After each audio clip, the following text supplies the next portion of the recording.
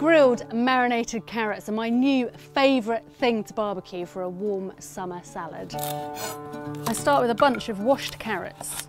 Slice them lengthways in half or quarters so they're all about finger thickness. Blanch for a few minutes in boiling water, drain them and add olive oil, cumin, brown sugar, chilli and garlic. Give them a good stir and leave them to marinate for a couple of hours. So I've got the grill really nice and hot and it's time to put the carrots on.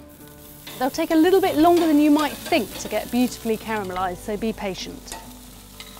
So I'm going to turn the carrots fairly frequently and if there's any marinade left over, just brush that over as they're cooking. Now the carrots are nearly done, I'm tipping some pecans into a flame-proof pan and setting them over a high heat to toast. Carrots are looking fantastic now, really beautiful and caramelised. So I'm just going to scatter them over a serving plate.